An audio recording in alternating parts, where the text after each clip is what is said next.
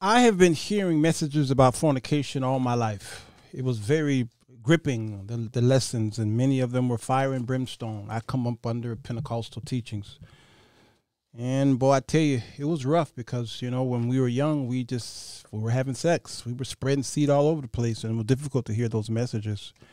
And it seemed like that's all we heard about was either fornication uh, or um, then then all the other stuff about snipping duff and cigarette smoking and drinking and cussing and partying. And we, we heard a lot of those messages over and over again. It really didn't stop us from doing the one sin of sex uh, before marriage. We did we did we did we did a lot of that. We didn't do all this other stuff they were talking about. They just sprinkled all that other stuff in. So we would say amen to the to the smoking because we didn't smoke. Amen to the drinking. We didn't drink. Amen to the cussing. Well, we have cussed, but we still said amen until the fornication subjects came in and, and teachings and the preachers came in and we just we kept quiet. As I got older and began went into ministry, you know, it, it was difficult for me to teach and preach against something that I was doing. But then I realized I had to do it. It's uncomfortable sometimes to tell people what not to do when you do it. Um, there's the old saying from the parents don't do as I do, do as I say. So, fornication, listen, I don't need to give a lesson on fornication. We all know what it is. The problem is it's being redefined. It doesn't matter what y'all gonna do. We're gonna we're gonna do whatever we're gonna do, and that's between you and God, and y'all got to figure this thing out. But the teachers, we are held to a higher big responsibility, James says. It could be really tough. Married people uh, who've been married for a long time either forgot the struggle that singles go through or they just don't know. And so they go hard on that subject matter of fornication, hard. and they ignore a lot of the other things that maybe they're guilty of as well. A person who's in something, they tend not to want to be bothered with that subject matter. They just move on they ignore it or they just uh, they'll put uh, dog whistles and deflect and all that stuff. Human error. Today, Prophet Lovy Elias um, came forth with his definition of fornication and sex before marriage, and he gave many of you all a way out. Are we surprised? Not from Lovy, we're not. So I'm going to say some things here in the show that's going to shake up some of the people who follow him. I really don't care. We've talked about him before. I typically don't like to bring up these guys. I'll talk about them one time because they may have said something so outrageous. I'll bring it up and then I'm done and I go back to teaching the gospel for weeks and weeks and weeks and weeks until somebody else says something stupid. That's what we do over here. We don't chase heretics. But today I got to bring it up. You know why? Because as it pertains to Prophet Lovy, we didn't send him. I'll explain that in about 60.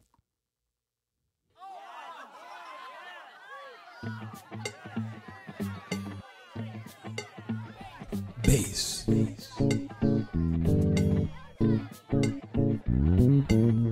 It's the show that will get you thinking,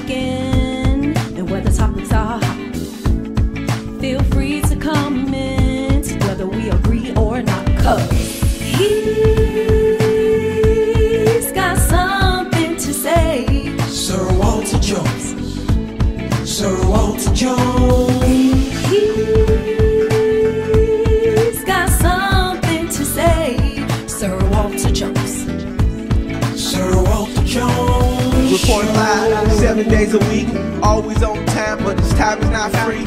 Sir Walter Jones, always on fleek. Latest trending topics had you jumping out your seat.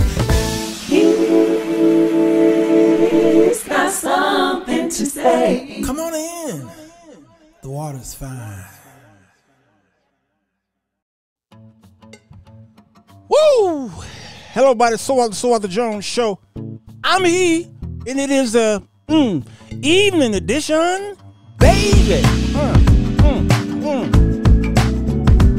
How you is? The water is fine. The water definitely is fine. It's always fine over here, y'all. Mm-hmm. Yeah, we go to swimming. We go to swimming in nice, warm water. Y'all doing all right? Okay, today ain't gonna be ain't gonna be great. It's not gonna be. All right. Uh, Smart Christian Sound say he said Walter Jones has the second best intro. the second best. I wonder what's the first best. All right. Today we're talking about the prophet Lovy. I'm glad the Smart Christian Channel is here. Corey Miner is here because I'm going to dig into his vault and uh, show y'all some things here that he brought up about Lovy that mm, ain't so lovey. Let's go there right now, will you please? All right, hit the share button if you subscribe to the channel. You'll get the and, and hit that bell notification. You'll know that we are live. All right. Other than that, go over to Corey Miner show, and uh, he got more hair than I do. right here, speaking of Corey Miner. Now, this is this is what he does. All right, now, what Corey did at the beginning here, he gave you, um, he sprinkled a few of Lovy's controversial statements here. Right, I'm gonna play a couple of them here. Sex before everybody says sex before marriage is a sin right mm-hmm. show me one verse that says that God doesn't care about your sin anymore. The biggest lie you were ever told mm. is that if it doesn't line up with scripture, it's not from God. Mm. It would be hard to listen to this man Okay. Now I'm gonna fast forward through this because what he does is he brings up some more of the of the hot stuff here. Okay. Let's see. Get rid of that smart Christian channel logo. Who needs that? All right, here he is. of judeo-christian beliefs or the morals godly morals that these things are not a good thing to do but not necessarily sin but it can lead you into a sinful path like a Okay, so he's saying sex before marriage is not necessarily a sin. Let me go back because I might have missed something. Uh, I got to bring up that smart Christian channel logo. I hate that thing. It just, it's just bad. Hold on. Now. Oh, now I'm playing. Now, I'm, now, now I got to pay him for that. I got to pay him to play. The, oh God! Shut up, Corey. say certain things are sins but it implies based on the morals The morals. of Judeo Christian beliefs or the morals, godly morals, that these things are not a good thing to do, but not necessarily sin, but it can lead you into a sinful path. Okay. Like an example, everybody says sex before marriage is a sin, right? Mm-hmm. Show me one verse that says that. Sure, I got a whole bunch There is them. no verse that says that. I got too many of them. There is no explicit verse that says that. All right, right there. Explicit. While, while I was going through Corey Miner's comment section, uh, I was reading many of the comments, and many of them were agreeing with Corey on it. And then you had a couple people who there who were followers of, of Prophet Lovy, Lovy, okay? And they were saying, Did you hear? There's two things that I always hear from people who defend mess like this. The number one thing you're going to always hear from people who want to defend a, a politician or their pastor is this Did you hear the whole message? Did you hear the whole message? See, in politics, they always say you're taking snippets and, and, and bits and, and bites of the the whole speech, and then you misrepresent what our leader said, the candidate said.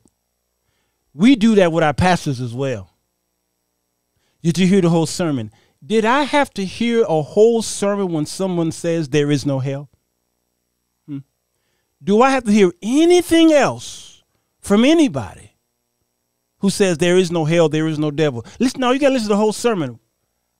There needs to be no more that I need to listen to.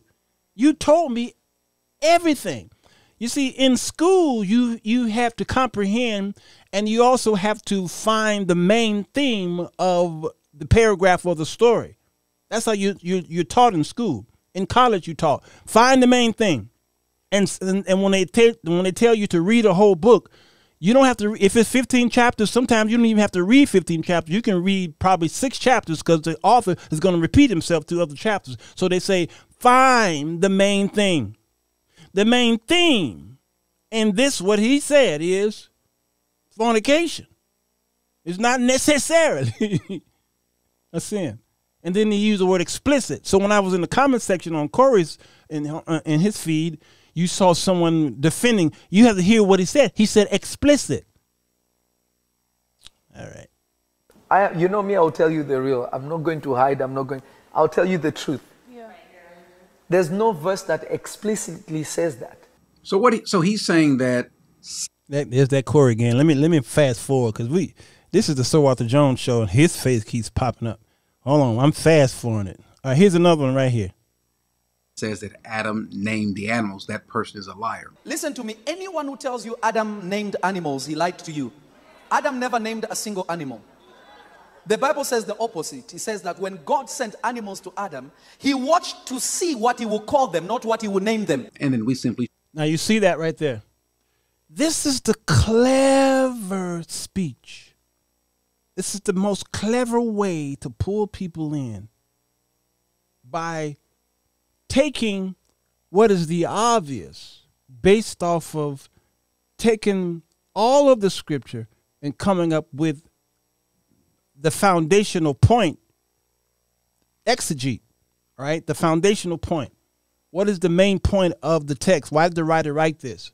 He might have said a whole bunch of things around that and he might have said something that seems to be ambiguous at best. So, so that's what he did. He tried to show y'all there's some ambiguity here. There was none. How did these animals how were they named?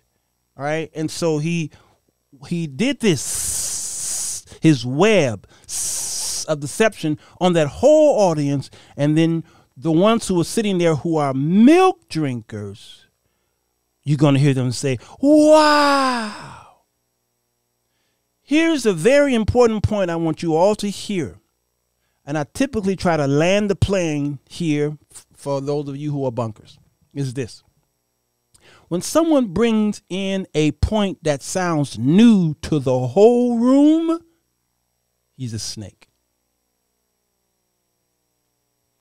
He is lying to you. He's bringing a false gospel.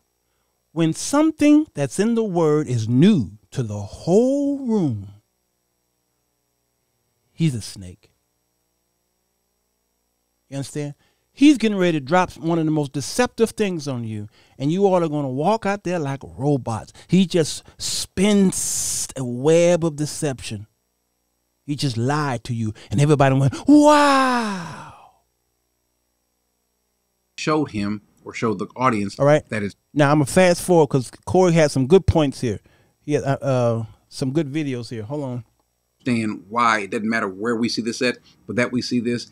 Listen to what he says about the scriptures. I'm going to make a statement that some people are not going to like, but I'm going to tell you the truth. That's all right. The biggest lie you are ever told mm. is that if it doesn't line up with scripture, it's not from God. Mm. That is the biggest lie you're ever told. Teach us. If something is Now listen to the people in the background. Listen to the guy on the camera who's close to the camera. Listen to the woman say, "Wow!" and they're so amazed at his eisegetical way of just spinning this web. a secret, it means it's not in here. Wow. Wow. wow. No, somebody didn't hear what I said. Okay, I know some religious people won't like what I'm saying. That's good though. That's good. I, I'm going to say it one more time. The secrets of the Lord are with them that fear him. So, what Abraham wrote is not a secret, Wow. it's a mystery. Wow. Amen. Do you think he told you everything? No. No. Now, the Bible is clear about teaching what comports or what Now, I'm gonna keep going here. I'm gonna fast forward uh, to this other video. Okay, right here. Right now. Right now, I'm saying it before God. I know myself, especially in this nation. Can nobody cast out demons like me? Mm-hmm. Mm-hmm. That is true. I am not saying the other people are not casting out demons. They are. They are being used by God. But I know my spiritual level. I know it. Right now, I'm saying it before God. I know myself, especially in this nation.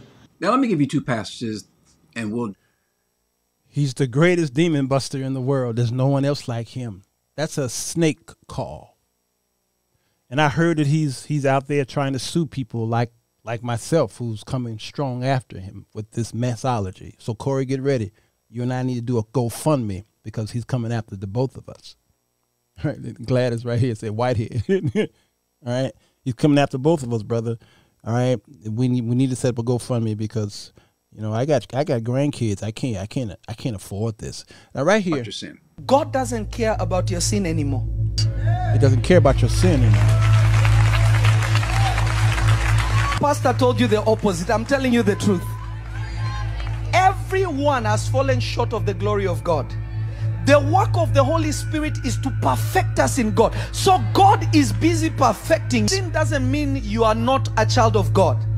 When you are in Christ, we stumble, we don't sin. We fall, but we don't sin. Why? Because when you are in Him, the law does not exist for you anymore. It is only the law of love. To go even further to show how heretical this person is, Corey, this man tells people that the way out of the flesh, to get out of your flesh, Corey, crazy. hold on, hold on, hold on. Let me go back. meditation. Reason why you cannot engage with the spiritual, you are in the flesh. Hmm. Yet the way out of the flesh is not prayer, is meditation. Come on. You want your spirit to go further, but you have not prepped the vessel to be able to go far. You have breaks within meditation. When you worship God, there's a time you get into meditation. Hmm. Because every prayer, in order for it to enter the spiritual realm, it gets into the place of meditation. Because meditation is the key to the spiritual realm. Well, how bad is that? Well, the Bible is clear. The Bible says, James tells us that if any of you are suffering, whatever it is you're going through, he says to pray.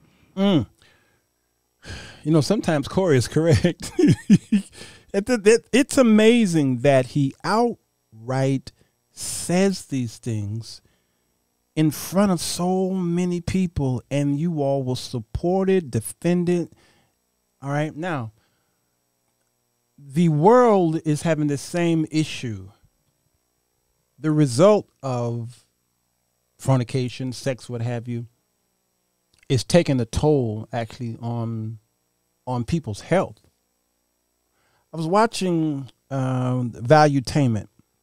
I often watch him. He's I know him personally, so I watch him. He, I don't always agree with his conservative so-called ways. All right, I'm conservative, and so two conservatives are fighting. He and I. But listen to this one. This is we have the fattest kids ever had. So I'm thinking, okay, yeah, because they're overeating or they're just eating. They're putting a lot of stuff. The government putting a lot of stuff in our food. All right. I didn't know he was going to spin it this way. Why we have so many fat kids? He says why testosterone is plumber, plumbering, plummeting. All right, in America. Let's see. uh, uh, if you want to find out more about the tick, I want to talk about the most uh, important story in the economy today. Testosterone levels plummeting in young men due to porn consumption as linked to social isolation shows real problem. The Sun. Young men's social isolation and retreat from society are linked to changing norms and discomfort with redefined masculinity. However, studies indicate that plummeting testosterone levels in young men, possibly influenced by excessive porn consumption, may, con- may also contribute to their desire to separate from society. Testosterone levels play a crucial role beyond sexual desire, impacting body and facial hair, muscle mass, bone density, uh, fertility, mood, and social anxiety. Excessive consumption of pornography is associated with low reproductive hormone levels in men, which can contribute in reduced testosterone levels. Uh, and potential uh, social isolation. Uh, natural way to boost testosterone level include improving sleep quality, getting sunlight exposure, and taking vitamin D supplements, consuming omega 3 fish fatty acids, and engaging in strength training exercises. Last Is that something? The, the world is trying to deal with this on the natural end, and the church trying to deal with this on the spiritual end, which you know, fornication obviously is natural, but we're going to show you in the scriptures where it was spiritual first, then it was natural, and maybe this is where Lovy was trying to go by saying it was not explicitly a sin before. Now he didn't say the word fornication, but we know what what what the word sexual immorality is. All right, the newer Bibles took the word fornication out of the scripture, out of the the, King James used fornication. Uh, the Geneva Bible and maybe a couple others uh, of of uh, antiquity used fornication, and then after um, we saw the postmodern Bibles begin to remove them out. Not that it was wrong for them to do it. Um, they did it for particular reason because Bibles interpret or they they don't just translate, but they also interpret what words are and phrases are. So I don't have a problem with that. So here they're talking about the um, the lack of getting sun and exercise, what have you, and there is, has been an, an onslaught. Of, there's so many um, detailed uh, news writings and op eds on men who have low sperm cell counts. It's out of control. And this is not just single people, but these are also married men who are hooked on porn and they can't satisfy their wives because porneia is in the way. So the world, all right, there's a there's a brother here that he does bring on. Right. I had a great time with these guys at Fresh and Fit with Myron. You guys are freaking amazing. I would. They can't measure up. Right here. Yeah, um, it's it's a combination of things. And I was actually just writing some notes as you were speaking about it. I would say there's a couple things that are contributing to this. One is women are more successful now than ever before, so a lot of guys feel like they can't compete or they can't measure up. You got you know an influx of pornography that's huge. You can get it for free anywhere, anytime on your phone at the you know drop of a hat. Video games, right, become more and more immersive, more and more interactive. They've grown in popularity significantly. It's probably one of the most uh, popular ways of entertainment nowadays. They're beating out movies and television. Then you got obesity, right? Being fat is fairly acceptable in the West nowadays. It's okay to be fat. Um, you also have guys in general that are just lazy thanks to technology and everything else that we have nowadays. People aren't as social. Guys don't feel the need to get out there and get to know women anymore. A lot of guys are socially awkward. Um, you know, this is through the rise of social media, dating apps, etc. There's a lot of guys that have issues, right, where they're good-looking guys and they're able to get garner attention from women, but they don't know how to speak or convey themselves properly because they don't have the adequate social skills where they've been speaking to people for a, a good amount of time and learning, you know, certain social cues, how to speak properly, cadence, speaking from an active voice versus a passive voice when speaking to women, because women typically respond very favorably to the active voice versus the passive voice. So all these little things, right, might seem like small little insulated insulated incidents, but if you add them all together, it snowballs and creates kind of what we have like what they call it the lost bar generation. Um, so in general, all of these things play into, and there's more too, but those are just some of the ones I could think off the top of my head. The lost boy generation. Mhm. Yep. We are a dying breed, Corey. And we're being overly feminized, especially black men.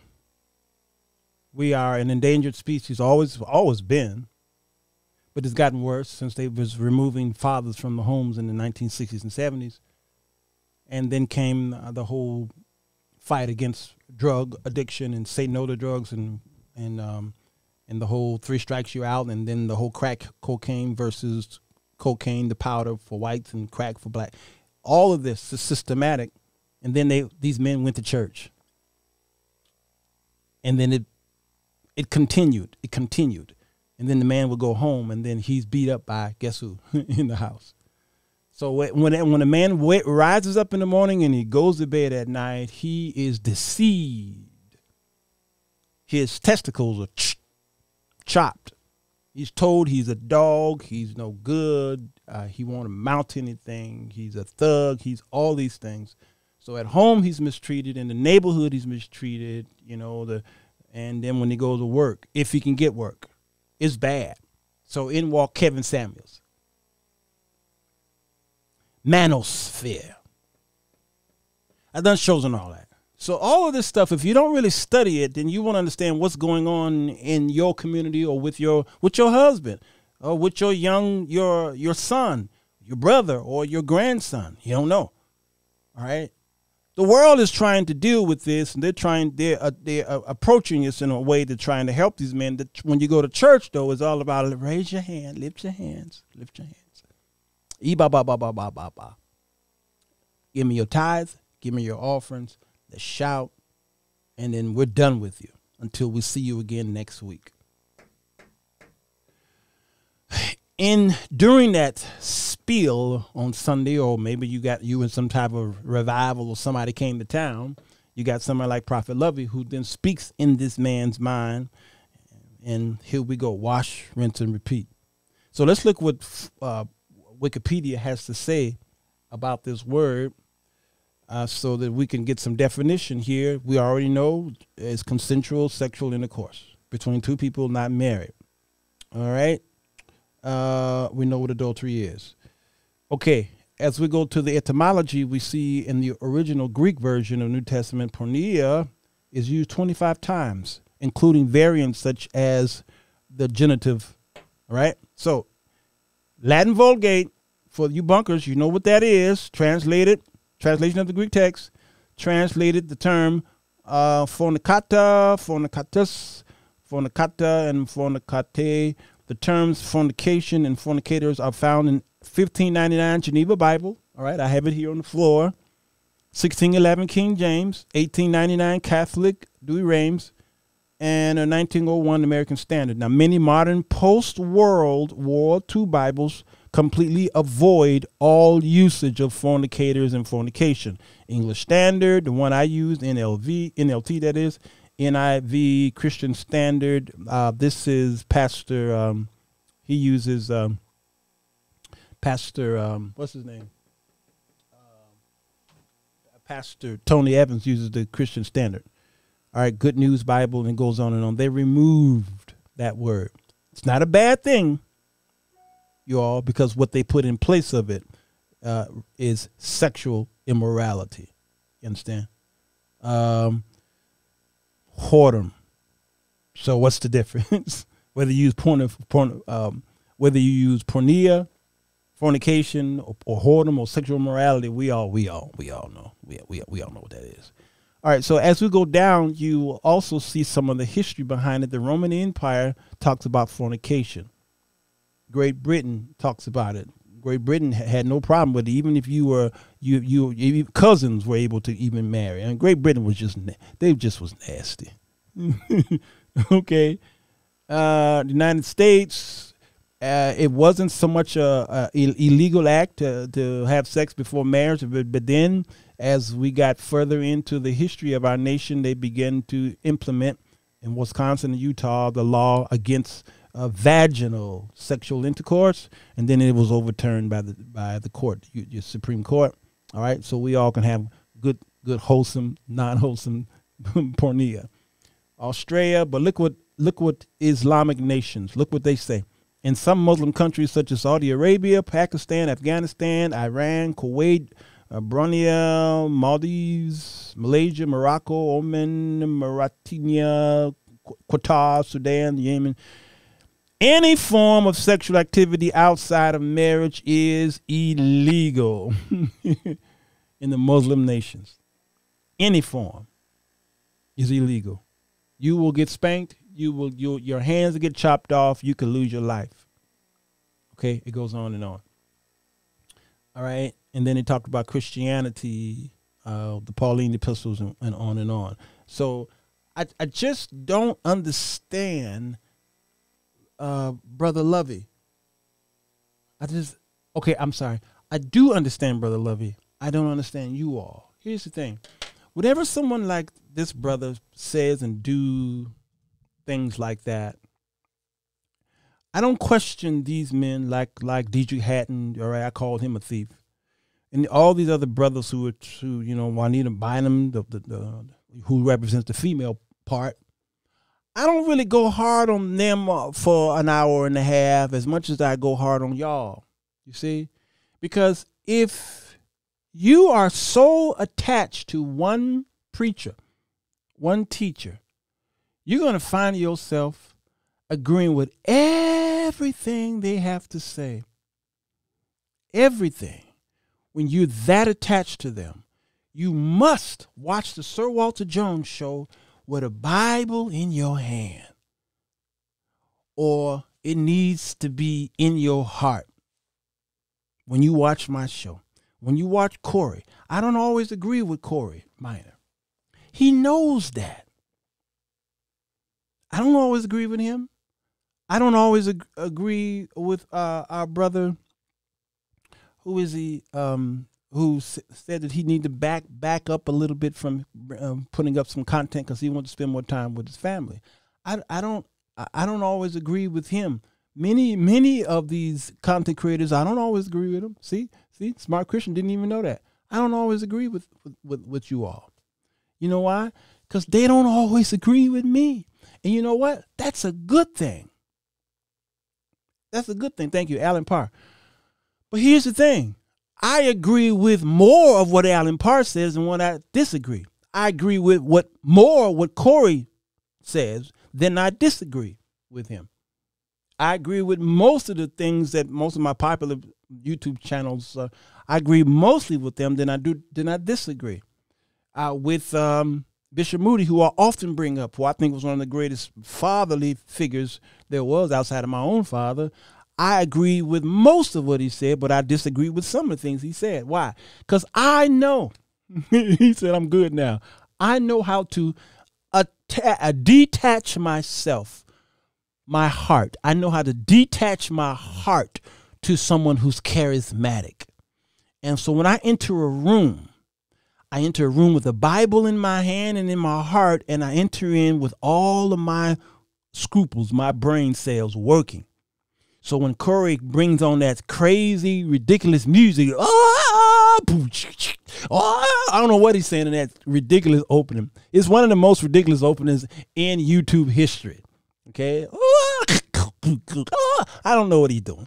I don't know. Anyway, when we get past that ridiculous opening, and we see that bald head, he typically is gonna say something I agree with. typically, Corey's gonna say something I agree with, mm-hmm. and it's gonna be real good. And then he's gonna he's gonna pull out his Logos Bible and go into some Greek, and then he's gonna start speaking in tongues. then then I I have to turn him off. He goes he goes to speaking in tongues. I think they call it Greek.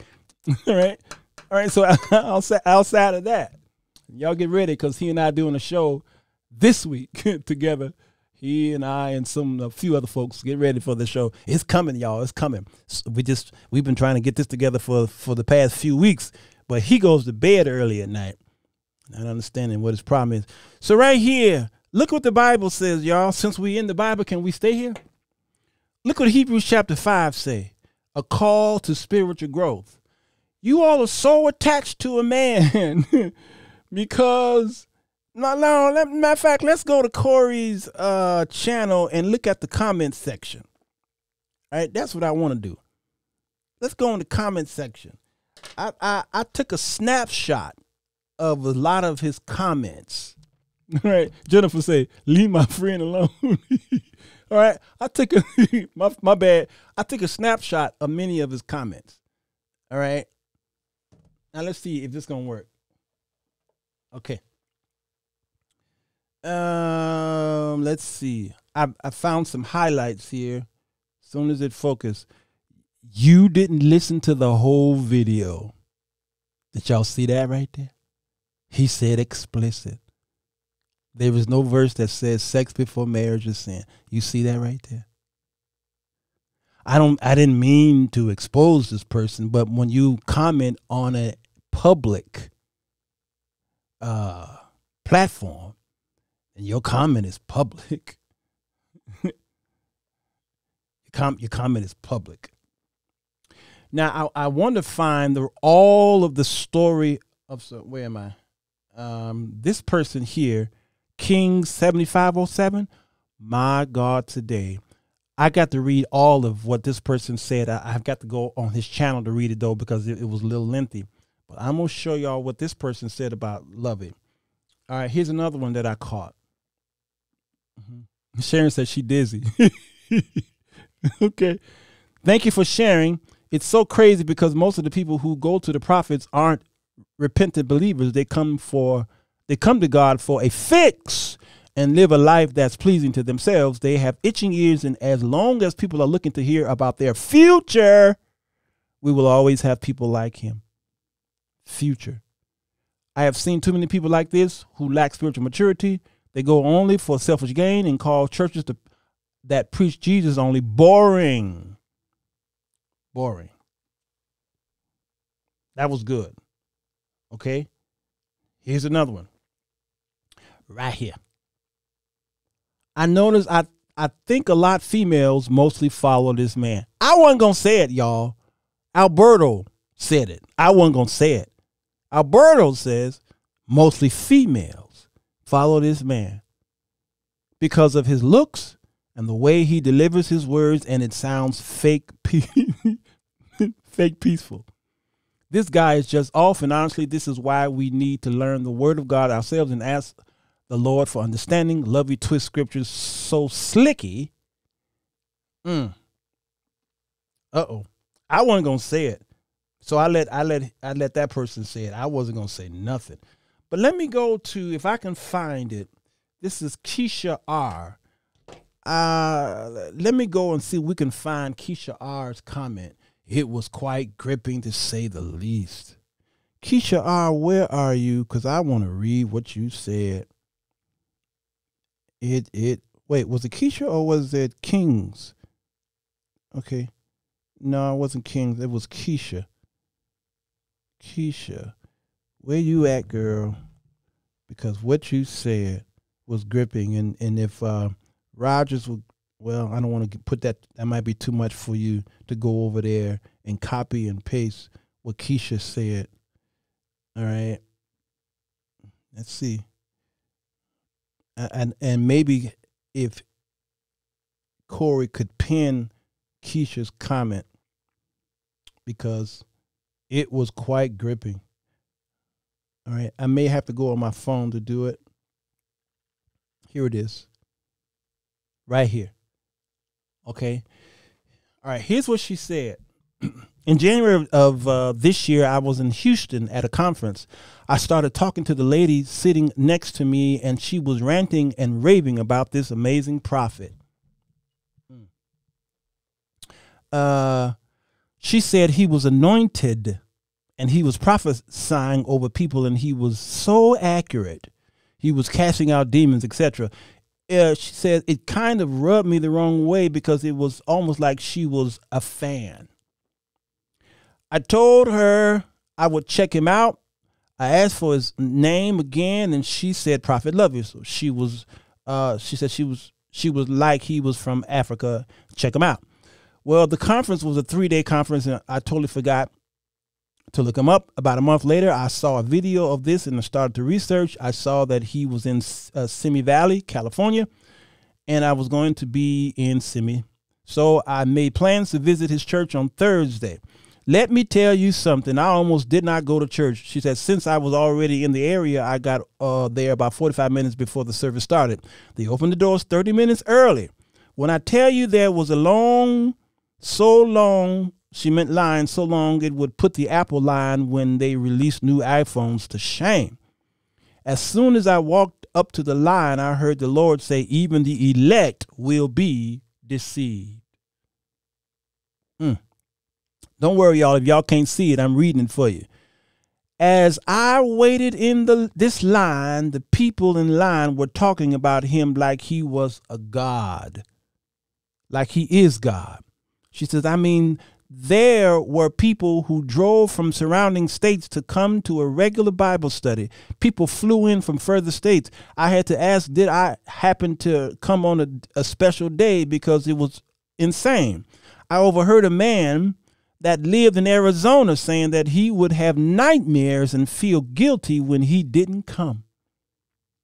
Then this lady was saying that she feels guilty when she doesn't come. I was like, what in the world? I had asked them how long do they think we will be in the line and is it always like this? And they said yes. And that would probably we would probably be in the um, the first overflow room. There was a man's there was a main sanctuary and two overflow rooms so i ended in up i ended up in the overflow room. I stayed for 40 minutes and left early. She says that man is not from god the father and he does not operate in the holy spirit he is prophesying to people using divination he speaks to familiar spirits he twists the word and says that he is going deep no, sir, you are teaching the new gospel. It is so sad. The Lord confirmed this to me in March, and now I have seen several people exposing him as false prophet. That's exactly what he is a false prophet. Man, let me tell you, when I read that, I'm sorry to uh, uh, keep uh, Corey's face on the screen like that. I know you all were disturbed by you. All, you all were disturbed by his face staying on the screen that long but I, I, I had to read them. and Corey gonna get me, boy. I tell you, I'm gonna get a phone call right after this show. So the only thing that I can think about is going to the scriptures to try and see how we can unpack this. he said, he said, ball and beautiful. Okay, you got the ball person. You got the ball part right. Ballpark Franks, they plump when you cook them. Okay, right here. Here's what the words say, Corey Miner. You, and one day you're gonna graduate to be a major, but we will deal with the minor issue. There is much more we would like to say about this, but it is difficult to explain, especially since you are spiritually dull and don't seem to listen. Corey and I go live all week long, and we talk about this stuff all the time. You have been believers so long now that you ought to be teaching others yourself. You should have your own YouTube channel. Instead, you need someone to teach you again the basic things about God's word. You are like babies who need milk and cannot eat solid food. My grandchildren, my grandson Charles is drinking milk, but my grandson Amir is eating solids, and his his bowel movements stank out the whole house because he's on solids. You all supposed to be stanking. You understand? You all supposed to be smelling up the place. The whole world supposed to be have a smell because you walking up and down the aisles, you at your job, you everywhere. You supposed to be stinking because you're eating solid foods. The Bible says that the apostles turned the world, the whole world, upside down. It was they, they people smelled them coming. When Jesus would walk down the street and the demons were like, "Oh, he's coming, he's coming." There's a stench, right? Because you're eating solid foods. But my my new grandbaby Charles, when when he poops and he, and he, you can't smell it, you just you can kind of smell it, but it's just all milk. It's just all milk. His his poop just don't have that aroma. But Amir, when he poops, you know he's been in the room. Liz, he said, "What if what if we were vegans? Vegans sometimes have the worst meal. My son is a vegan. Ask me how. we, don't tell nobody I said it. Solid foods, solid foods. For someone who lives on milk is still an infant and doesn't know how to do what is right. Queenly said, "We get it." she tried to tell me, "Shut up." Solid foods is for those who are mature, who through training have the skill to recognize the difference between right and wrong. Solid foods. Y'all put some meat in your belly. So that's Hebrew 5. And then when he when you get to Hebrew 6, he continues in this. Sharon said, stanking. right, right, Joyce. I know, I know he thank God he don't watch my show that much. Whew. Hallelujah today. Right here. So let's let us stop going over the basic teachings about Christ again and again. Let us go on instead of becoming mature in our understanding. Surely we don't need to start again with the fundamental uh, importance of repentance from evil deeds. Do we, Lovy, Elias? Do we have to go over the fundamentals? Hmm? And placing our faith in God, you don't need further instructions about baptisms, do you? I think you do because Corey and I keep going live about it. What about laying on the hands? Uh, you, we do? Yes, because Corey and I keep going live about it. What about the resurrection of the dead? We keep going live about this stuff. And eternal judgment, we keep going live. And so, God willing, we must, we will move forward to further understanding. Uh, that's why I be moving on. I'm not talking about Lovy after today. I'm done with him until he does something way, way, way outlandish. I just don't chase these guys every week. I just don't do it. That's Corey's job.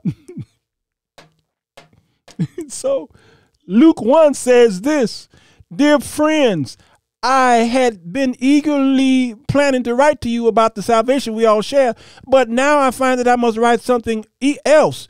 urging you to defend the faith that God has entrusted entrusted since for all time his holy people. I got to defend this thing. I say this because some ungodly people have warmed their way into your churches, Lovy. Warmed. You see this word right here? Warmed. And the word is worm. Y'all know what a worm is, right? I was pronouncing it like worn, but it's or warming, but it's worm. worm. There's a song that has the word worm in it. Such a worm as I. What song is that, y'all? Saying that God's marvelous grace allows us to live immoral lives. Did y'all see that? Look at that. Uh huh. Look at that. Yes, at the cross. I knew Beatrice would know it. Yeah, Robbie got it too. Such a worm as I. At the cross, at the cross, where I first saw the light, and the, uh, uh, for such a worm as I. There it is. At last did my soul. All right, anyway. Look at this. These worms are saying that God's marvelous grace allows us to live immoral lives. It's okay. Have sex. The condemnation of such people was recorded long ago, for they have denied our only master, the Lord Jesus Christ. So I want to remind you, though you already know these things. What? Many of the letters from Paul and Peter and Jude were reminder letters.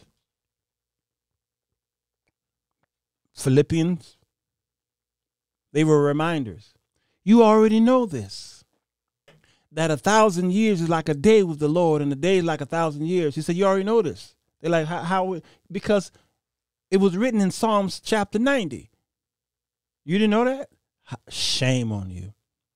How are you in a, a certain profession and you don't know the basics, the foundations, and the tenets of, of what you are? I never know. I never met a doctor who didn't know how to take blood pressure, who didn't know how to put a needle in your arm and take blood. I never met one yet. Can you imagine going to a doctor's office and, and he's like, Where do I put the needle? That's what's happening here in the scriptures. Here's what he's saying. Do we have to go over the fundamentals of porneia?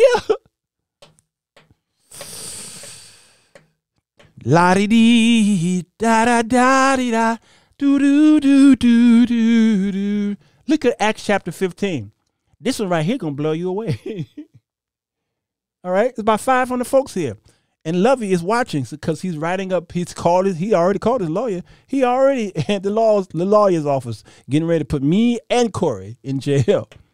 While Paul and Barnabas were at Antioch of, uh, of Syria, some men from Judea arrived and began to teach believers. The believers, unless you are circumcised as required by the law of Moses, you cannot be saved. This is what I heard in the Church of God in Cash. Uh, sorry. The Church of God in Christ all my life. In order for me to receive the Holy Ghost, I've got to tarry on the altar all night until I go t. And then I got the Holy Ghost, and then I can just go on with my life. I got it. Like it's some kind of disease or something. Or it's like some kind of uh, Oscar, Academy Award, or some kind of Grammy. You worked so hard to get to this award, to get this award. You're good now. Your name will be in the annals of time for getting this award. This is all I believe that the Holy Ghost was for, for me to go he t d i t t. That's all he was good for. It ain't about him uh, coming into my life and being a, a guiding post and a light and a beacon light and showing me all truth and teaching me this and this, teaching me that and what have you. It ain't about all that. I got the Holy Ghost because I went TDIT. So at church, I was like, thank the Lord for being here. Thank the Lord for being saved, sanctified, Holy Ghost filled, fire baptized. That was the speech that everybody gave when they got up to testify. So these preachers, these teachers came to your church to tell you this is what this is what it's supposed to be, and this what was happening at the Council of Jerusalem. New converts was coming in, and the Jews were like, "No, you can't come in here." The Church of God in Christ had a song, "You can't join in, you got to be born in." now I know what the song mean. It is can be uh, uh, understood uh, with some level of ambiguity there, but it, it basically spiritually means you can't be born again in in in in Jesus, the church of God in which is in Christ, not the denomination. Had nothing to do with the denomination, but those who sang it in the denomination made me believe that you literally had to be born in the denomination in order to get to heaven. So I was walking around as a young man thinking that only Church of God in Christ members will be in heaven. Y'all know I talk about him. I know him, but I praise him, but I talk about him too. And I don't care. They they they, go after me. And I'm still here. People like, why you still there? Because I'm a light. Why take some light out of there? Then eh, it's going darkness will show up. I got to stay in there to be a light. It's, it's a punk who always got to leave, leave here, leave here, leave. Y'all be blocking folks. All, y'all always blocking people on social media. I'm going to block you. I'm going to block you. That's a cop out. I tell my moderators, don't be blocking folks unless you unless they are so egregious that you may have to block them. But don't be, be blocking folks. That's a cop out. We face our giants here. We put them on the jumbotron and then we go back and forth sometimes. But don't be blocking folks. That's a cop out. It's, this was happening at the Council of, uh, uh, of Jerusalem. No, these these Christians. And so Peter rose up and said, "Hey, uh, I went to Cornelius' house, and I was preaching the gospel, and guess what? What? They started to speak in tongues. The Gentiles. What? Yes." The Gentiles were speaking in tongues and they got converted just like us from Acts chapter 2. They got the same thing and they went over there to the, the, the council and say, we were reporting what's going on. And then the Bible says there are some who are of the sects of the Pharisees who said, no, no, no, no, no. They've got to be circumcised. mm. And y'all got to read Acts chapter 15 because this is what's happening with the whole lovy thing. The deceptive measures of you can and you can't, or this is not really the, what you see. What you see, don't let your eyes deceive you. Don't believe your lying eyes. That ain't in the Bible. I will teach a new thing in you, and I'm the greatest of all. No one cast out devils like me. Donald Trump effect. He looked up in the sky and said, I'm the greatest. No one can fix this but me. And he looked in God's face and said, Nobody can fix this but me. and then what did he do? He put Tic Tacs in his mouth and said, I'm gonna grab some vaginas. And all of the white evangelicals and some of you black Pentecostals say, That's our man. That's our man right there. The enemy of mine enemy is my friend. He's our man. Rah, rah, rah.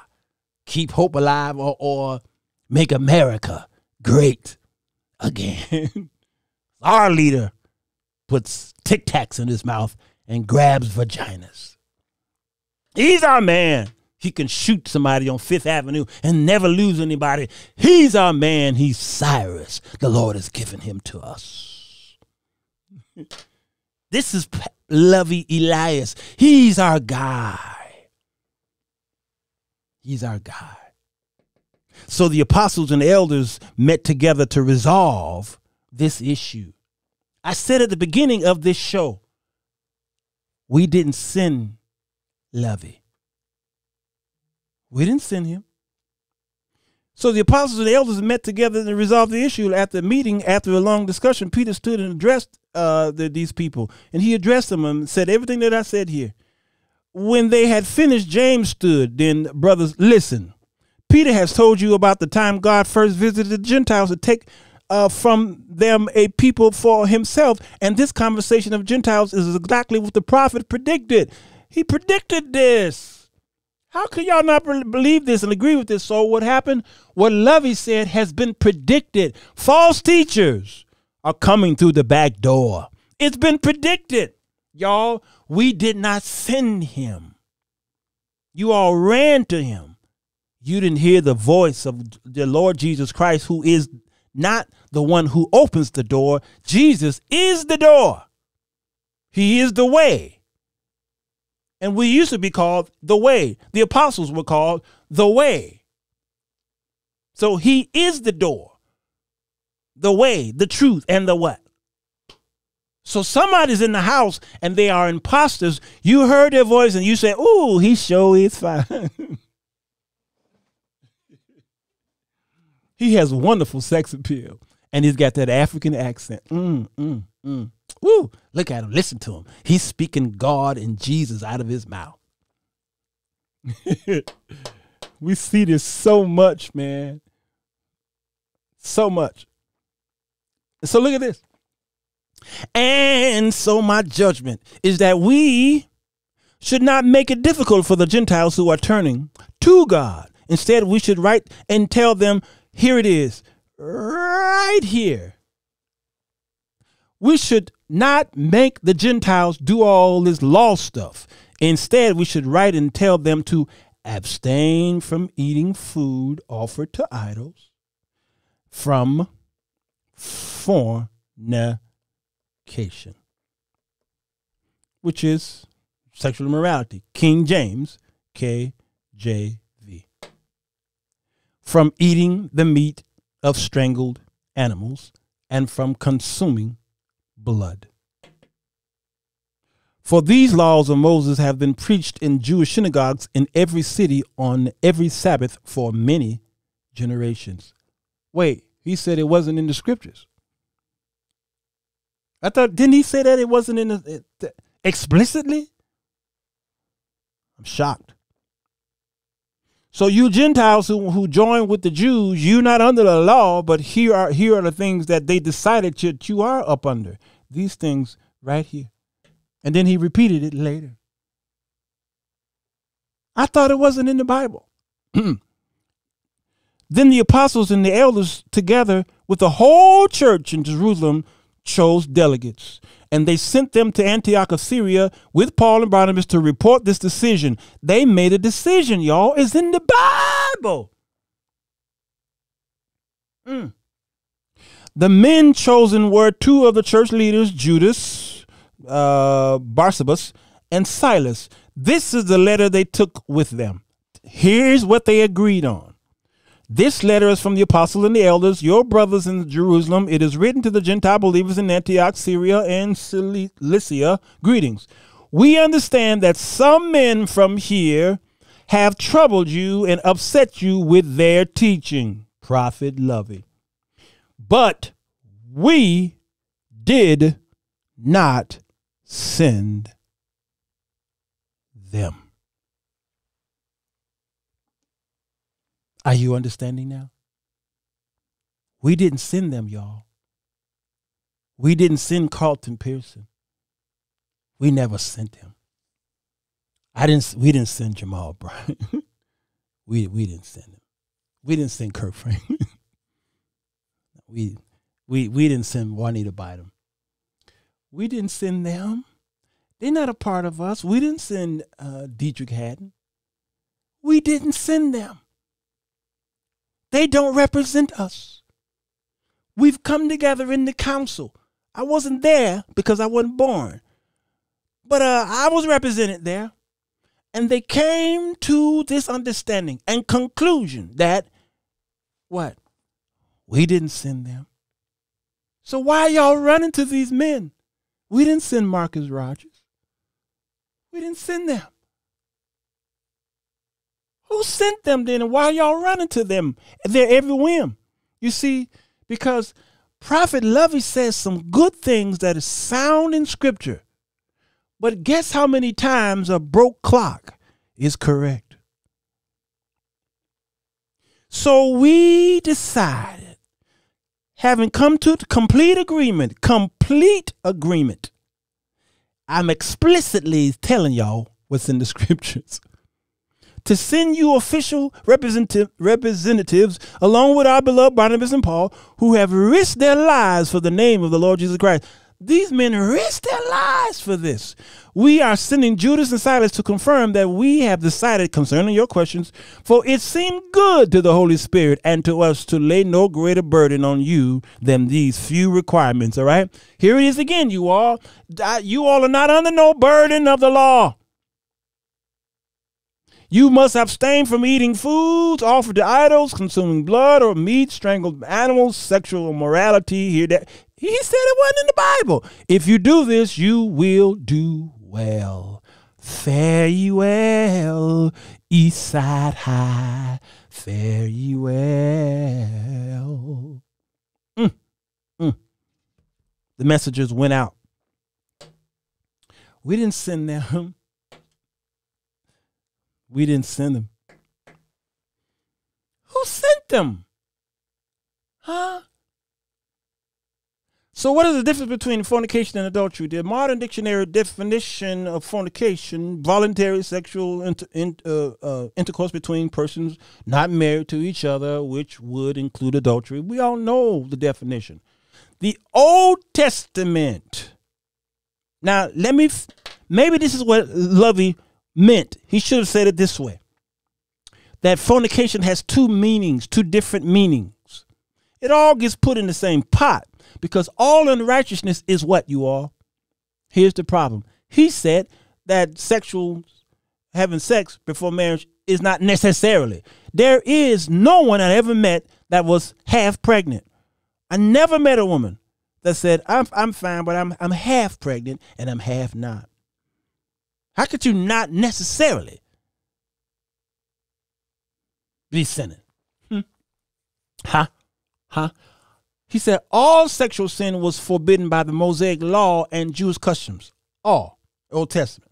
All right. So the Hebrew, however, word translated fornication in the Old Testament was also the context for idolatry, also called spiritual whoredom. You see, here's where it's not someone sleeping with another woman or another man. He could have went here. I could have supported him if he had went here. God struck Jehoram with plagues and diseases because he led the people into idolatry. He caused the people of Jerusalem to commit fornication, to go lusting like the fornications of the house of Ahab. You understand? King Ahab was the husband of Jezebel, the priest this of the lascivious god of Baal, who led the Israelites into idol worship of the most egregious kind. Ezekiel chapter 16 then shows us here something you will start seeing fornication, but now you'll see it in the form of not sexual sins in the natural, but in the spiritual. Why didn't he go here? Then another message came to the Lord, Son of Man, confront Jerusalem with her detestable sins. Huh? Give her this message from the sovereign Lord You are nothing but a Canaanite. Mm, your father was an Amorite and your mother was a Hittite. On the day you were born, no one cared about you. Your umbilical cord was not cut. Man, I can't read all this because it gets too, it gets tough. Because he's talking to a nation who was married to God. He's married to the backslider. And y'all said the, the word backslider is an Old Testament word concept. It's not New Testament. Grace is New Testament. Backslider is the Old Testament. God was talking to a specific people, his chosen people. They were backsliders. That's why if my people which are called by my name, he wasn't talking to you, he was talking to his literal people, the children of Israel. He was specifically answering this prayer from Solomon. If my people. All right. You all applied it to yourself. Listen, I'm not gonna fight you over that. I've sprinkled it in there too, but I was trying to make a a, a contextual um, moment there that some of you might have missed. All right. So contextually, we've got to read this thing properly. So por, uh, porneia or fornication in the Old Testament is used to talk about whoredom or idolatry. Are y'all with me? So when he's talking to Jerusalem, look what he say here. Look what he say. But you thought your fame and beauty were uh, your own. You gave yourself as a fornicator. Go to King James. Notice I said the newer translations removed the word fornication. As a prostitute to every man who came along. Mm. As a prostitute. Let me see. Do I do do do do do I do I have what is this? 15 I, I just want to prove a I just want to prove something to y'all. All right? Let me prove it to you. This is my King James Bible. Uh this is verse 15. 15. There it is.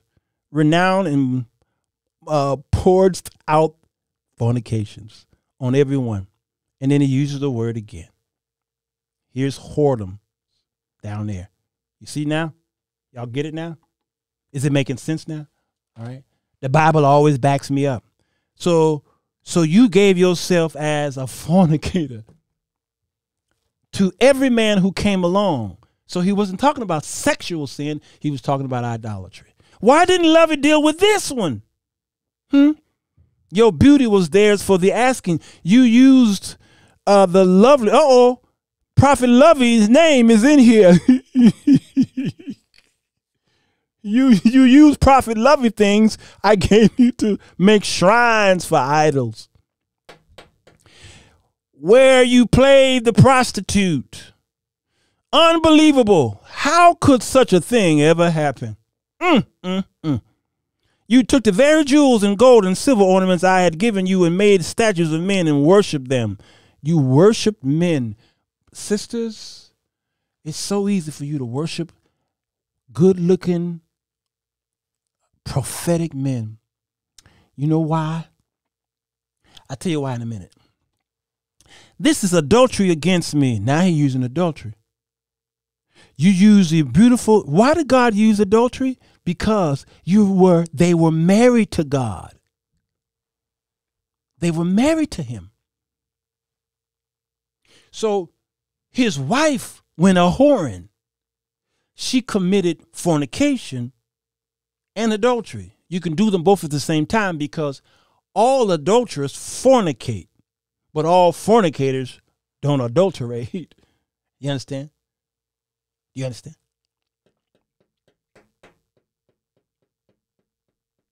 This is adultery against me.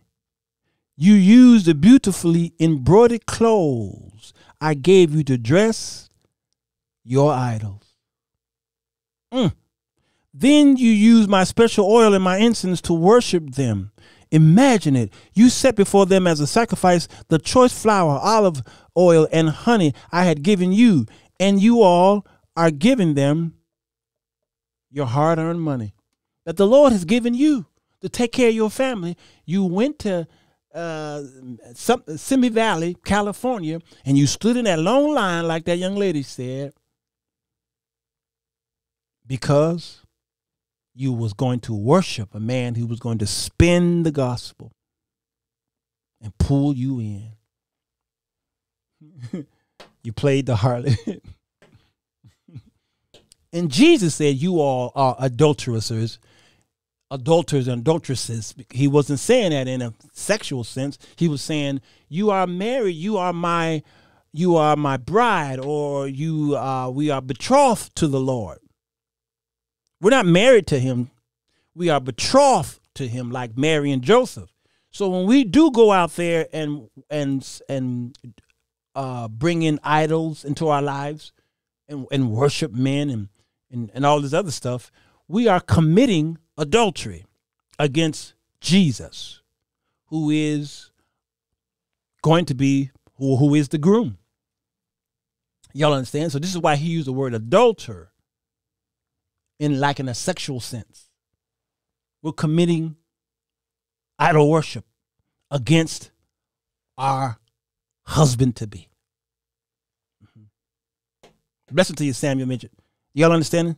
Huh? And this is what they were doing. Then he said, Then you took your sons and daughters, the children you had born to me, and sacrificed them to gods. You raised your children up under that mess. Was your prostitution not enough? Must you also slaughter my children by sacrificing them to idols? In all your years of adultery and detestable sins, you have not once remembered the days long ago when you lay naked in the field. Wow, kicking. Remember when you were kicking and you was in in your in your blood, drowning in your own blood, and I went and rescued you? Remember that? You don't remember that? The reason why so many women attach themselves to these kind of men is because there's a lack in their lives. Yeah, there are men following brothers like Lovy Elias. I know that.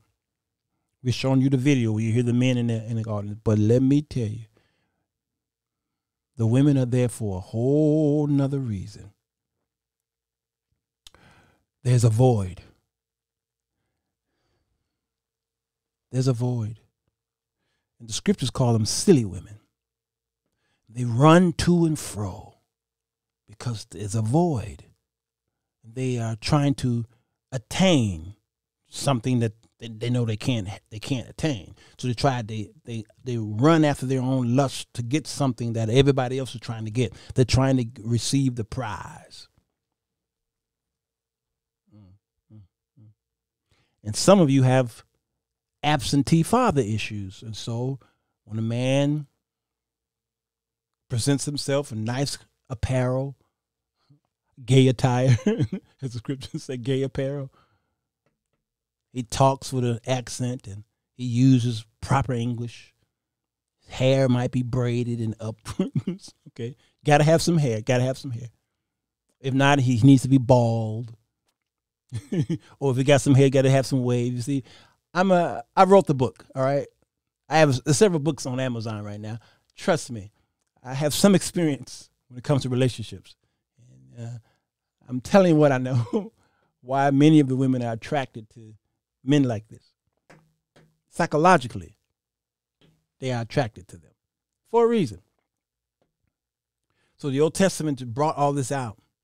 The prophet Ezekiel described in details the history of God's people turning away from him to play the harlot with other gods. So the New Testament fornication comes from the Greek word porneia, as we've been saying, which includes adultery and incest. Incest. The use of the word in the Gospels are the uh, and the epistles is also in reference to sexual sins, not uh, uh, the idol- idolatry part. Whereas fornication in the book of Revelation also refers to idolatry. So in the Old Testament, talks about fornication being adultery. When you get to the New Testament, in the Gospels and the epistles, then you see it, it turns into sexual sins. And then when you get to Revelation, it goes back to idolatry. The Lord Jesus condemns two of the churches of Asia Minor for dabbling into fornication of idolatry. Revelation chapter 2 goes to the 14th verse and then the 20th verse. And he also refers to the great harlot of the end time. Now, y'all getting it? So, that great harlot wasn't sexual sin, it was uh, idolatry, which is the idolatry of false religion with whom the kings of the earth committed fornication, and the inhabitants of the earth were made drunk with the wine of fornication. Revelation chapter 17. First and the second verse. So, adultery, on the other hand, always refers to the sexual sin of married people with someone other than their spouse. So we know the difference between the two now. We've always known it, but I wanted to break it down because I can't understand how you all get so caught up in someone's message to whereas what you was taught can be that easily erased because you got your eyes glued on a, a someone in the flesh as mother mayhem would say the flush Listen, y'all, it's difficult. It it is not that easy. When you when your when your flesh rise up, it ain't. I'm a single man. My flesh still work. My flesh ain't dead. It's difficult, you all. Sex feels extraordinarily good. You go to rubbing, It feels good. It was a problem in antiquity. It's a problem today. It will always be a problem until Jesus come. The struggle is real. Not just with single people, that the struggle is real with married folks because if you don't like your husband or your wife, you go looking and lurking for someone who can please you sexually. I get hit on by both single and married women.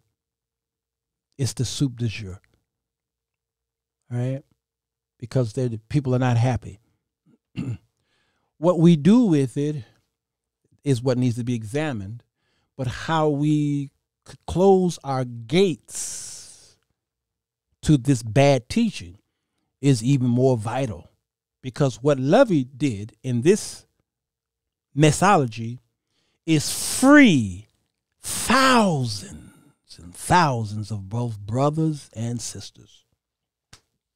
He freed them. You see, when you connect, put your nails into a man and hold on to every whim and word, every jot and tittle, that means everything he says is law in your heart because you attached your heart to this man. And this is why I keep telling y'all stop telling the ladies, follow your heart. Don't do it. You should never follow your heart because God knows your heart as as we were I didn't read in Acts, Acts chapter 15. God knows your heart and your heart is wicked. Not just wicked, it's desperately wicked. Scripture say who can know it?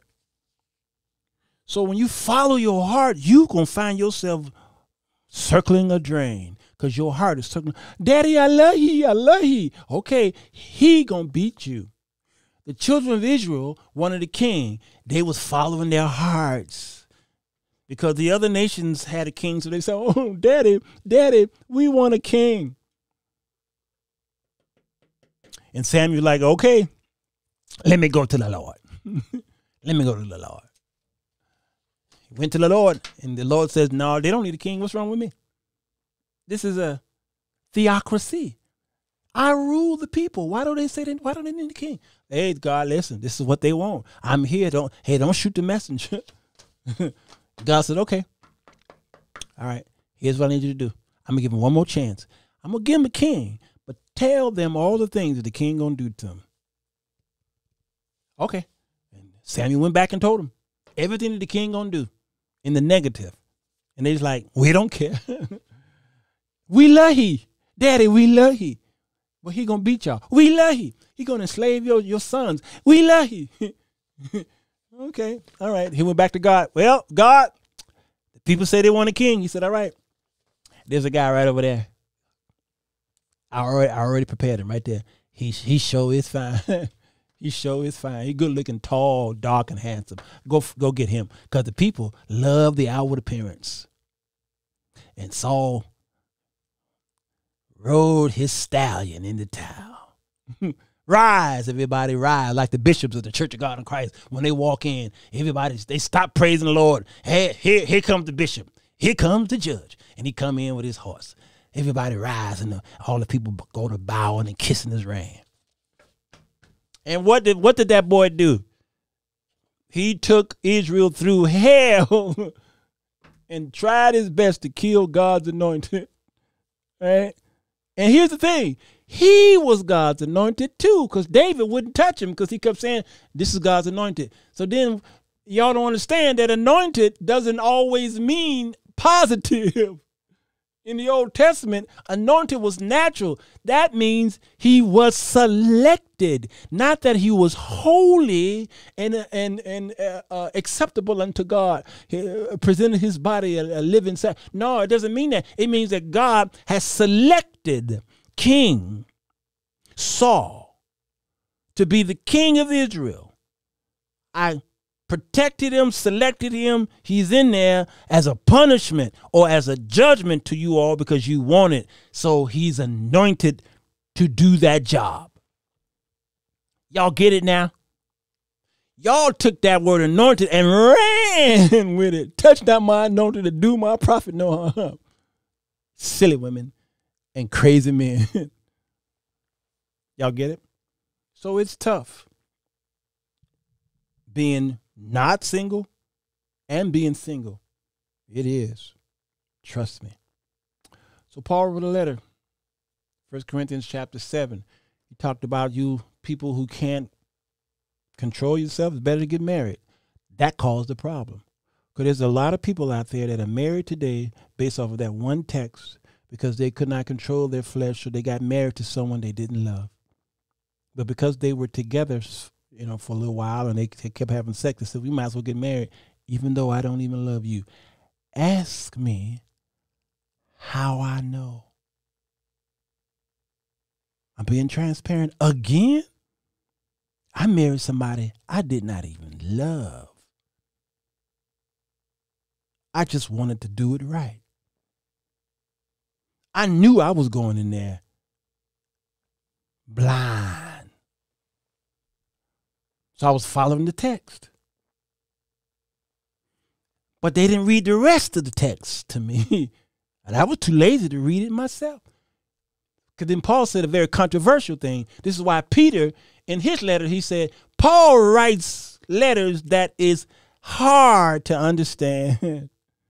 it's hard to understand. So, what it was hard to understand? Paul said, if you're with your fiance, it's better that you don't marry her. If you can abstain, it's better that don't this you y'all can do whatever you want to. Don't marry her. It's better to not marry her than to marry her. No one read that part. no one read that part. So I had to go into holy matrimony with somebody I didn't even love. I was in love with somebody else. How many songs are written about that? Oh, it's sad to belong to someone else when the right one comes along. That's one song. Uh, what's that? White. That's a that's a white group. I forgot their names. I, some, uh, the actually gonna put it on there. Turn on the radio. Turn the lights way down low. What's that name, y'all? Oh, how many songs is that? You in this in this marriage, you don't even love this person. As we lay we forgot about tomorrow as we lay. I mean, how many of these songs have they written about something like that? Got to get up in the morning go go back home to somebody you don't, you're not even in love with. That's tough. So I do these shows to put open up my chest cavity and and naked I come before y'all so that you can see that there's a there's a dude here, six feet tall, dog, big nose, big smile. You know, don't get caught up with his bling and his suits and ties and his rope and all that. Don't get caught up in all of that stuff. He tells the truth and he's gonna tell it even if it hurts him and expose his dirt. He gonna tell it. This is stuff that these cats like Lovy, they're not gonna do. They're always gonna tell you how wonderful life is. How wonderful life is while you're in the world. Now I'm gonna tell you, it gets rough out here as a single man. Some of the finest women are at church, and my eyes still work. My eyes adore you. Though I never laid a hand on you, my eyes adore you. Come on, y'all. There's a million songs out there. Like a million miles away from you, you couldn't see that I adore you. So close. So close, but yet so far. My eyes, I ain't blind. Some of the finest women in the world is where I have to worship. and I have to make sure I look, but don't touch. And then make sure if you look, don't look like Jesus said, you look with lust in so I got to look up. Hey, sister, how are you? Just fine. Ain't nothing about me broke. Just my flesh still work. So be honest with yourself. But be careful because a man like Lovy would tell you, why struggle? Go ahead, because it's not necessarily wrong. then he tried to cover himself by saying, but it can lead to. yeah. Yeah. All right, y'all. Uh, I have dinner upstairs cooking. Meet me Tuesday. If you are a private member of the Bunkers family, we will interrogate the text. All right? Meet me. Uh, we didn't send Lovy. I didn't send him. Did you send him? I didn't. And for those of you who will dis be who hate this vid- this show today, I'm not surprised. And you're going to continue to watch him. Don't bother me. I got it all out. You're to do whatever you want to do when the show is over. You're to go back to your own vomit. you know, I've, how many times have I returned back to my vomit? I lost count. I lost count. So the struggle is real, you all. For all of you who have struggles, I too struggle. And I don't tell y'all everything. I never tell you everything. I'm going to my grave with some of the stuff. I ain't telling y'all everything. But I will tell you, I'm flesh, just like y'all. Here I am, right here. Flesh. he said, You should play this mic. hold on, hold on. Hold on. Hold on, hold on, hold on.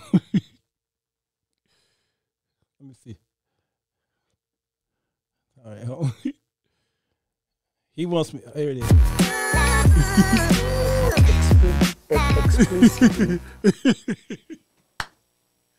it's so short, man. It's so short. Around the um, no, it would take me too long to do to talk about divorce.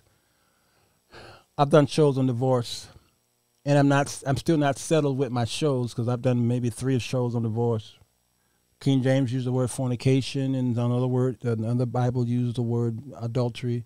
And folk got mad at me for my last show I did on marriage and divorce. and it's, it's a difficult subject matter. It's one of the most hotbed beds subject matters in Christendom today. Some of you are not allowed to get married because your wife or husband is still alive, and the scriptures are very plain on that. You can't get married except for adultery or fornication. That's the fight that I had with some people when I, when I came to adultery and, and fornication word. Jesus was plain about that. All right, but then here comes the whole point about proving. Can you prove that my husband, and my wife committed this crime, this sin, so that I can divorce him? And then, but then Jesus said, "Can you remarry?" well, here goes the ambiguity here. Okay, and then the word committeth, uh, which is used in King James. All right, E T H. All right, is a continuous, or is it a word that is done one time? All right, this was the fight that we were having. So it's difficult to do shows on marriage and divorce.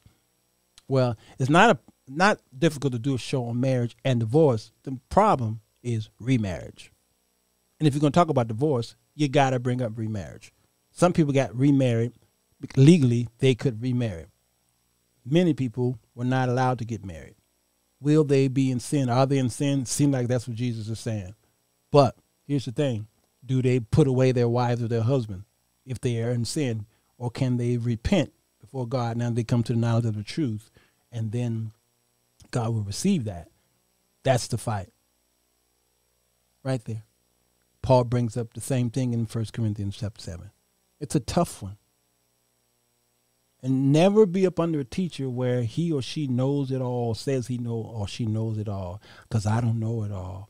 There are going to be some things that I've taught the bunkers that I I'm going to find out when I get to judgment. Uh, you taught them that wrong. I know that for a fact. That was incorrect. Right? So be honest with yourself and, and make sure your teachers be honest with themselves too. To thine own self be true. That's not in the scripture, but it sure feel like a wonderful proverbial statement. To thine own self, you need to be true.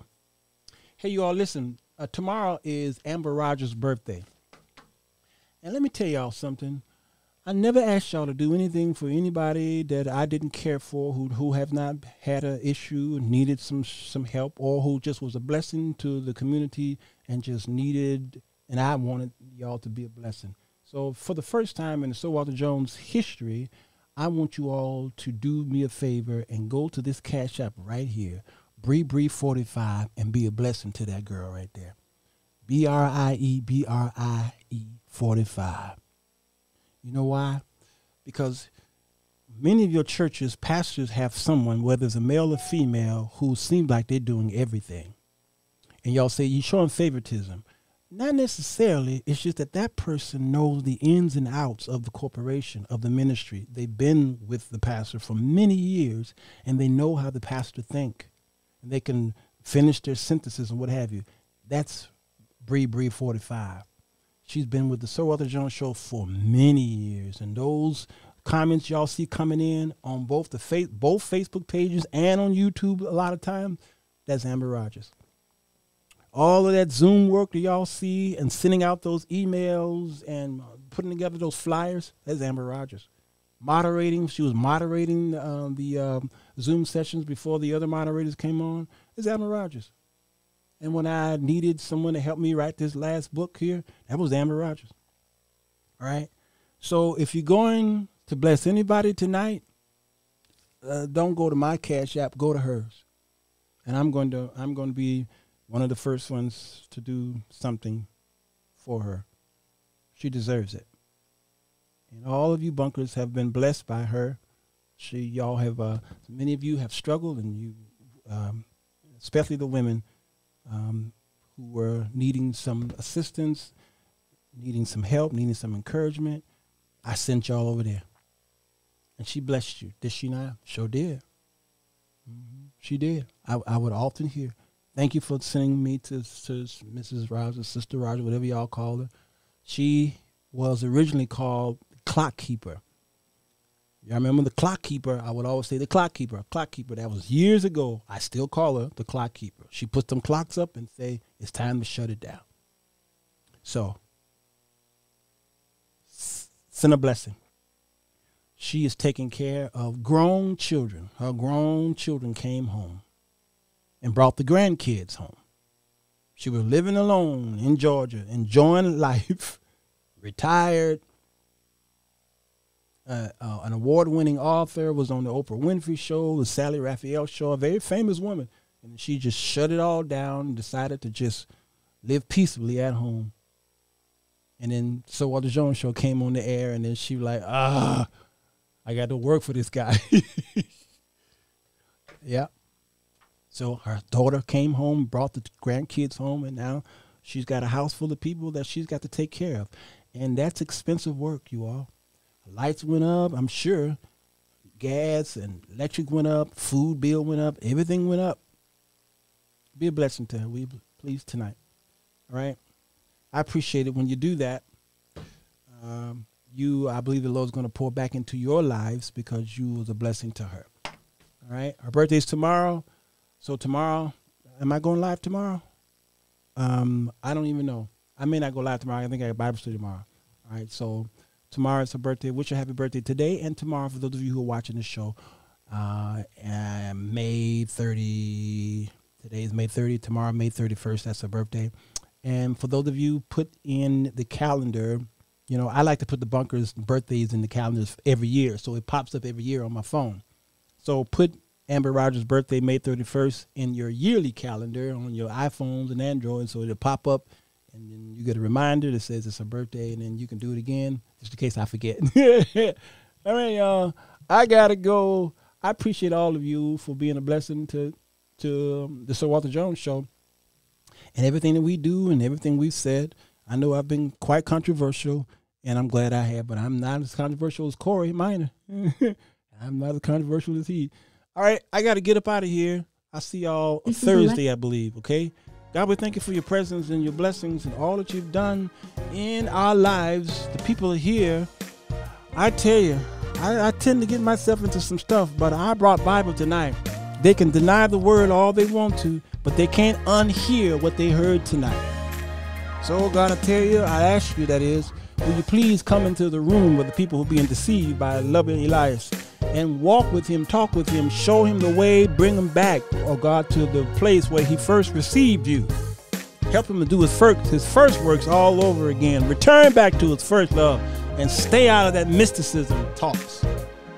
Help him, oh God. Teach him, show him that he's, he's, he's veered off the pathway. That little, that narrow road, he veered off. Push him back on there, God. I, I, there's hope for him. I'm not throwing him in the garbage, God. I believe as long as he got breath in his in his body, he could lead people back onto the right path. I believe he can if you just walk with him. But right now, God is walking in the air. So help him as you help me. And thank you, God, for uh, Brother Corey Miner. Thank you for the work that he's been doing over there on, on Smart Christian Channel. Be a blessing to him and his home, his wife, his children, his grandchildren, even his dog. Bless this man's house when he goes out and come in. Continue to pour into his life, God, that you might strengthen him, that he can continue to stay on the wall. We love you, God. Thank you for Amber Rogers. Thank you for all the years you've given her through all of the medical issues that she might have had and for the relationships, toxic and good. Here she is, being a blessing to nations. Sir Walter Jones Show airs throughout many nations around the world, and that woman right there is a big responsibility, have a big responsibility to keep us on the air, looking at least good, looking good on the air. So thank you for her and all the bunkers here and all the moderators who make the show what it is. We love you. We give your name the praise in Jesus' name. Thank God. Amen. Gotta go, y'all. Dr. Kayla Harris uh, was in town a few hours ago. She's flown back to California, wherever she's going. All right, Dr. Kayla Harris, y'all see her in the comment section sometimes.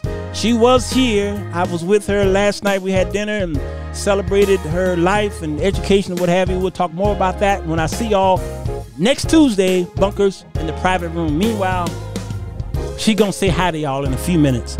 Take care of yourselves. Ah!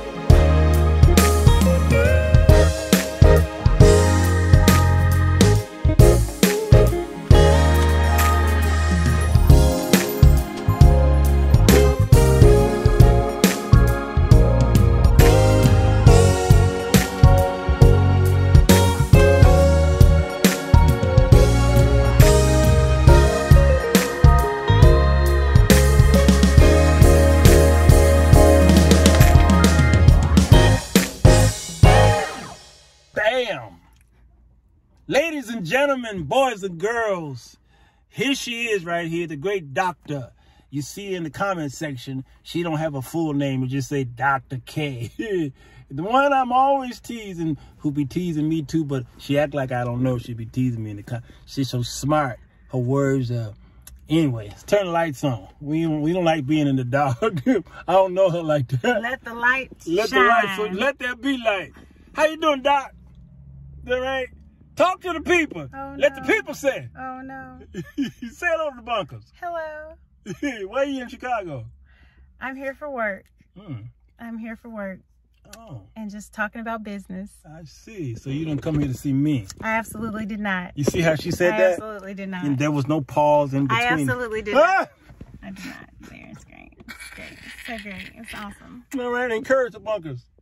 Encourage yourself. Okay, where's that Donald Lawrence? Uh, Donald Lawrence, D. Lawrence, my dear friend. I will see y'all uh, on a Sunday school, I think, or maybe Theology Thursday. I don't know. Yeah, that's that's yeah, that's this week. That's week. Okay. There she is, y'all, in the flesh, in the skin. Okay. She on her way back to the thingy thingy. Tomorrow back to California. I just wanted her to say hi to y'all. Let y'all see it's a real person. It's not a hacker on YouTube. I'm real. All right.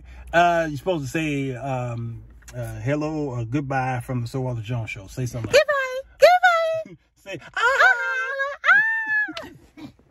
Bye, y'all.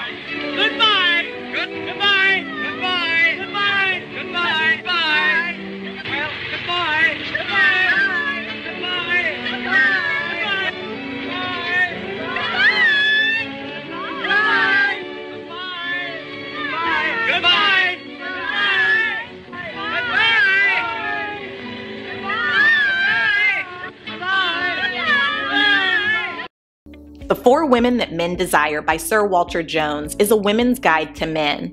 The authors endeavor to expose men fundamentally with his perspective on the types of women that men truly desire. He has meticulously penned a brilliant and controversial read, bold in its assertion that all women fall into one of four categories Girl A, the side chick, Girl B, the mistress, Girl C, his soulmate, or Girl D, his fatal attraction.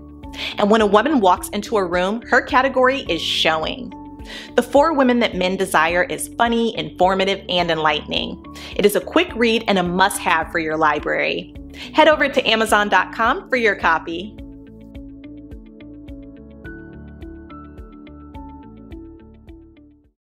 It's 10 p.m. Do you know where your children are? Sir Walter Jones Show. Goodbye.